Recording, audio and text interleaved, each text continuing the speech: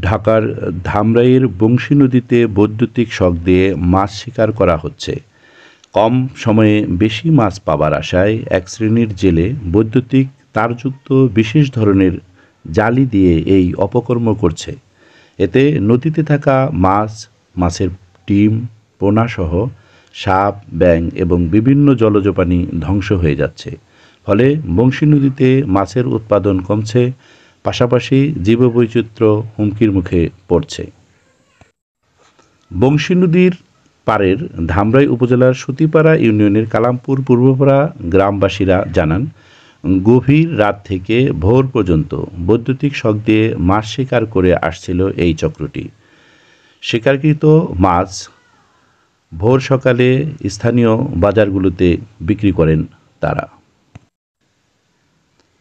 প্রত্যক্ষদর্শীরা জানান বংশী নদীতে বিভিন্ন অংশে জেলেরা অবৈধ উপায়ে বৈদ্যুতিক শখ দিয়ে এই মাছ নিধন করে আসছে দীর্ঘদিন ধরে।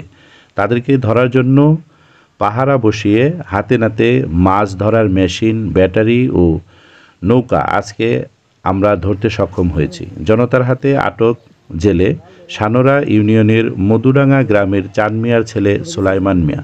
সে দীর্ঘ তিন বছর যাবৎ এই অপকর্ম করে আসছিল। এরকম কারেন্টের শর্ট দিয়ে নদীতে মাছ মারে মাছের ডিম সহ নষ্ট করে ফেলে।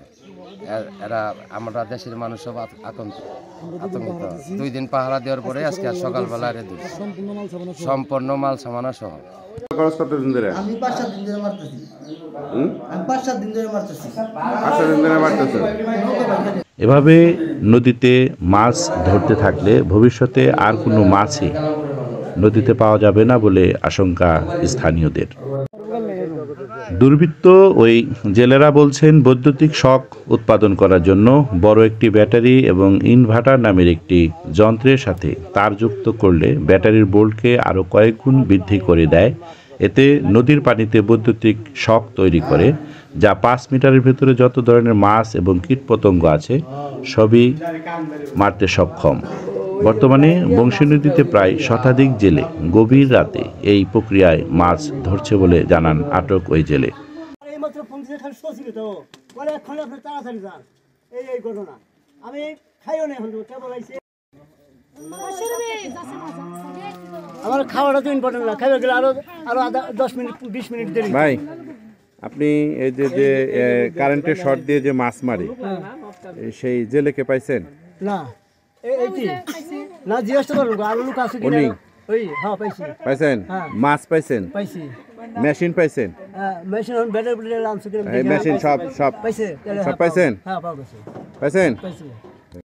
ভাই এই যে ব্যাটারি মাছ মারার যে মেশিন এবং সেই জেলে পাইছেন? হ্যাঁ পাইছি আমরা। সবই পেয়েছি।